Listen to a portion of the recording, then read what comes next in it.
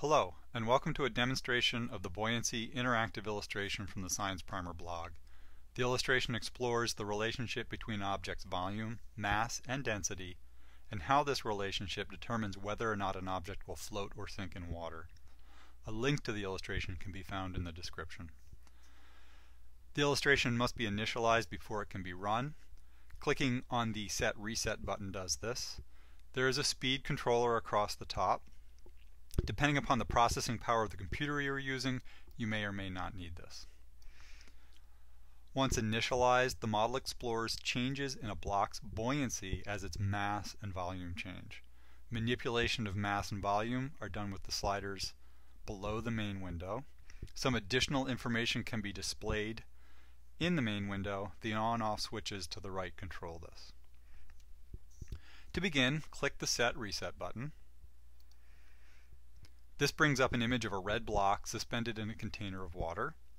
The blue line indicates the water level. Initially, the block has a mass of 500 grams and a volume of 500 cubic centimeters. This gives the block a density of 1 gram per cubic centimeter. Since the liquid the block is in is water, and water also has a density of 1 gram per cubic centimeter, the block is neutrally buoyant and fully immersed in the water. For the illustration to be responsive to adjustments of mass and volume, the Run button must be selected. So now holding mass constant and increasing the volume makes the block positively buoyant, causing more and more of it to be suspended above the water level. The volume can also be reduced.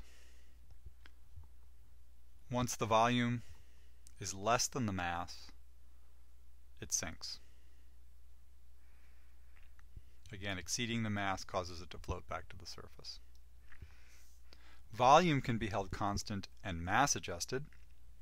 At any given volume, the greater the mass, the lower the block sits in water.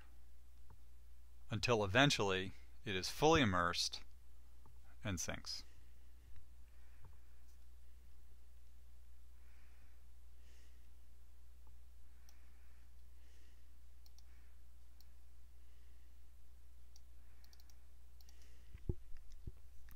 The switches to the right toggle on information about the block in the main window. The mass and volume switches show these both mass and volume with units included. Density can also be shown. Again, since the block is in water, a density greater than 1 gram per cubic centimeter will cause it to sink. At densities below 1 gram per cubic centimeter, it floats. The lower the density, the higher the water, the higher in the water the block will float. Given that the block sinks into the water to a point at which it displaces the amount of water equal to its own mass, we can see that if the mass of the object is equal to half its volume, it will be half submerged. The show percent submerged switch will toggle on this information. Again, as the at a set volume, as the mass increases, the proportion of the block submerged also increases.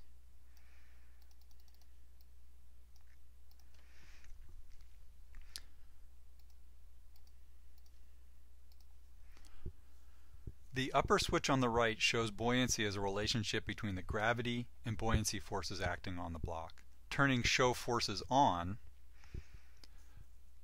brings up two vectors and their values. The upward pointing vector is the buoyancy force. This causes the object to float. The downward pointing vector is the force of gravity. When the forces are equal, the block is fully submerged and neutrally buoyant. If the volume is increased, the buoyancy force increases and the block rises above the water level. If the mass is increased to a point where the force of gravity exceeds the buoyancy force, the block sinks. This completes the demonstration. Thank you for watching and enjoy the illustration.